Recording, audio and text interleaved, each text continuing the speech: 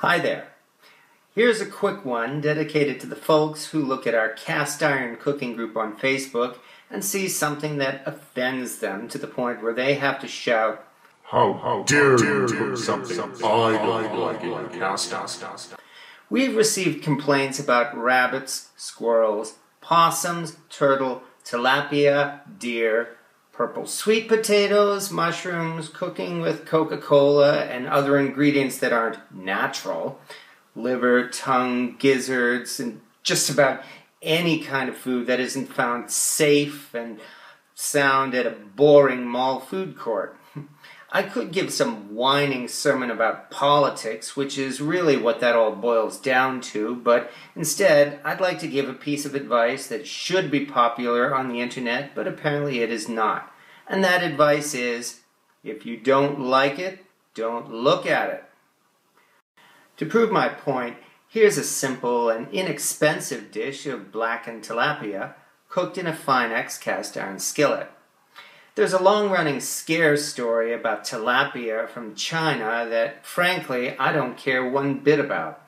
However, the comments on this YouTube video are likely to be very interesting because there are folks who insist on warning everyone about the dangers of everything that isn't American, that isn't completely natural, raw, uncooked, uh, contains no GMOs, and so on and so on and so on go ahead and do so because that's what YouTube is for, or so you think. For those of you who just want to see some cooking, I hope this suffices. It's an easy dish to prepare, and I hope you like it. The hardest part of this dish is preparing the rub to coat the fish, and even that is extremely simple. Before making your preparations, place a cast iron skillet on the stovetop range and heat it at medium for 15 minutes. You don't have to go any higher than medium because cast iron absorbs heat and it will easily become hot enough to give the fish a good sear. As the skillet is heating, we simply prepare our rub.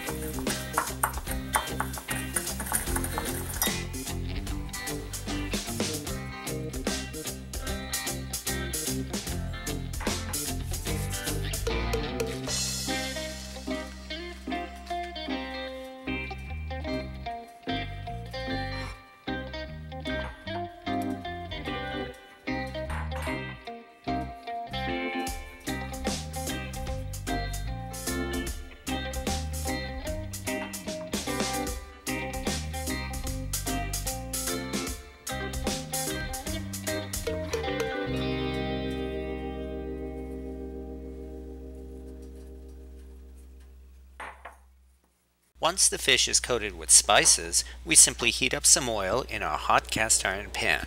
In this case, we're using lard. Once it's all hot and smoking, we simply place the fish fillets into the oil and fry them for 3 minutes on each side.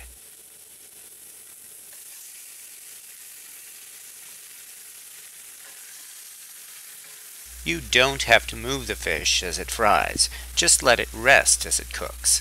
This is what will blacken the crust and give it the flavor we want.